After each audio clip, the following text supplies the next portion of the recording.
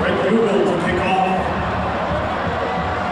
Deep for Alabama on the far side, Derek Teeter. On the near side, Darius Stewart.